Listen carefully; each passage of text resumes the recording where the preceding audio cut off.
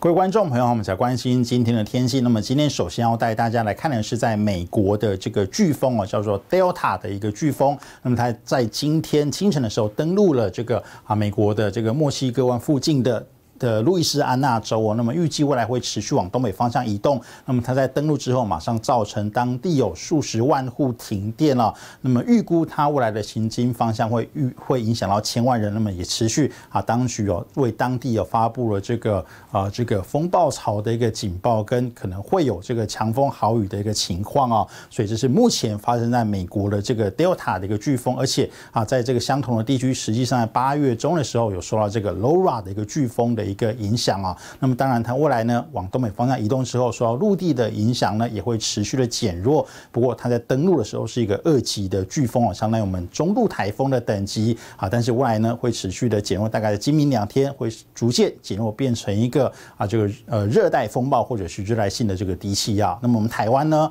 啊在我们东亚这附近，今天也有一个热带性低气压生成，就是目前在南海的这个热带性低气压，那么预计在今天明天也会增强成为台。台风啊，但是未来它会持续往西面移动，会影响到越南这附近哦。对我们台湾呢是比较没有直接的影响。我们台湾这两天天气都是持续受到这个东北风的影响啊，所以呢，在迎风面北部跟东半部云量都比较偏多。但是明天的话啊，会稍微有点不一样，明天的降雨几率会变得比较高。最主要就是南方这附近水汽比较偏多啊，有一些水汽会沿着气流飘到我们台湾这附近来。所以明天开始，礼拜天到礼拜一，我们迎风面地区北部跟东半部要特别注意，是比较容易有。局部的短暂阵雨，那么中南部地区是比较不受到影响，持续是比较稳定的天气啊，也比较温暖。那么预计像这样子水汽比较偏多的天气，大概会持续到礼拜一左右。礼拜二开始又会恢复成偏东北风到这个偏东风的一个影响的一个天气哦。所以呢，预计未来的一个礼拜的话，我们台湾持续都是在迎风面地区，雨量都是比较偏多。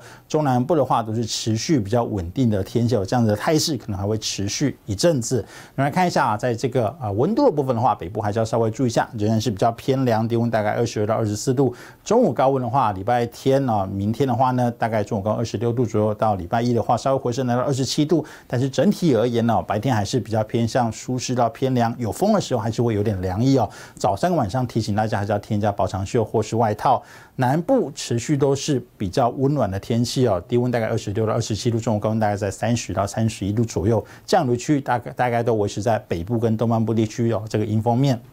不过稍微注意一下啊，礼拜天开始局部地区可能雨势啊会稍微的比较大一些。另外来看一下，在这个今天晚上各地的天气啊，基本上就是迎风面地区北部跟东半部云量比较偏多，局部零星的短暂阵雨。西半部桃竹苗以南都是比较稳定的。我们高雄平农附近要稍微注意一下空气品质。那么明天白天天气的话呢，以以这个迎风面呢，降雨几率会提高，可以看到北部跟东半部都有出现降雨的图示哦，所以呢都会是比较偏湿凉的天气，提醒大家出门要记得携带雨具了。西半部。的话，桃竹苗以南都是比较稳定的天气，同时在这个高雄屏东还是要持续注意这个空气品质不太好啊，因为臭氧浓度哦会比较容易偏高，光化反应会比较明显，所以几个重要提醒大家，明天的话跟今天比较起来，南方水汽会稍微的增加，北部跟东南部容易有局部的短暂阵雨，中南部是比较稳定的天气，那么高雄屏东还是要持续注意空气品质。